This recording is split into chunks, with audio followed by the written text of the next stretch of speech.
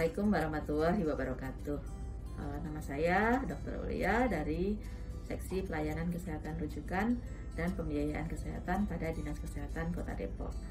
Saat ini uh, kita membangun sistem aplikasi SCP online dalam rangka melayani pembiayaan kesehatan bagi masyarakat miskin Kota Depok.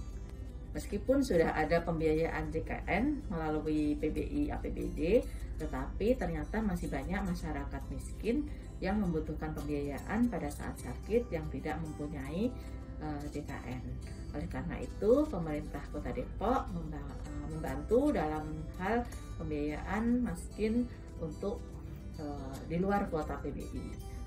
Saat ini karena pandemi COVID-19, di mana kita mewajibkan penerapan 5M, di antaranya adalah mengurangi mobilitas dan menghindari kerumunan, maka eh, pelayanan untuk pembiayaan masyarakat miskin ini kita konversi menjadi eh, pelayanan melalui aplikasi SCP Online. Dengan SCP Online ini, masyarakat tidak perlu datang mengurusi berkas ke Dinas Kesehatan untuk selanjutnya diterbitkan surat jaminan pelayanan yang akan menjadi dasar rumah sakit untuk mengajukan klaim ke pemerintah Kota Depok.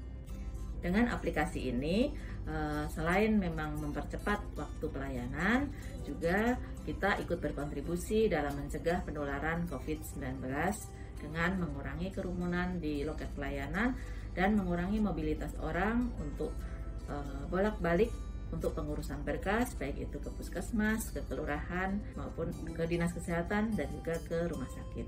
Dampak dari aplikasi SCP online ini adalah uh, waktu penerbitan SCP online lebih tepat waktu dan juga rumah sakit dapat memantau uh, proses pengajuan pembiayaan masyarakat miskin di luar kota PBI ini hanya melalui aplikasi sehingga ada kepastian dari rumah sakit untuk melakukan pelayanan kesehatan dan sekaligus penjamin terhadap pembiayaan kesehatannya.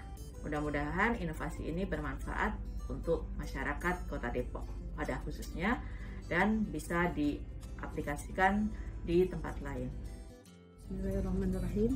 Saya atas nama Rehan Saputri, pengelola program jaminan pembayaran kesehatan manfaat SJP online yang saya rasakan saat ini semakin mempermudah dalam pelayanan yang tadinya mengantri di loket menjadi tidak mengantri lagi di loket. Dengan adanya SJP online, pelayanan menjadi lebih efektif. Saya Anissa Nurul Huda selaku verifikator medis dengan menggunakan aplikasi SJP online dapat memudahkan masyarakat dalam pengajuan. Tidak perlu antri kembali untuk melakukan pelayanan. Masyarakat hanya perlu datang ke puskesmas terdekat, kemudian SJP dapat dicetak langsung di rumah sakit. Selain itu, dengan menggunakan aplikasi SJP online, penyimpanan data menjadi lebih sistematis. Saya Silmi Yaspa, sebagai mahasiswa yang melakukan praktik kerja lapangan. Dengan adanya SJP online ini, memudahkan masyarakat dan juga petugas pelayanan. Sebelumnya, masyarakat perlu datang langsung ke pelayanan Dinas Kesehatan untuk menyerahkan berkas persyaratan secara fisik. Namun, setelah adanya aplikasi SJP online ini, masyarakat dapat langsung ke puskesmas untuk mengunggah berkas persyaratan. Kemudian, petugas pelayanan dapat mengecek berkas secara langsung eh, dari aplikasi secara online. Selain itu, Pemberian feedback juga dapat secara langsung sehingga prosesnya lebih cepat dan penerbitan SJP lebih tepat waktu. Demikian paparan sekilas mengenai aplikasi SJP online.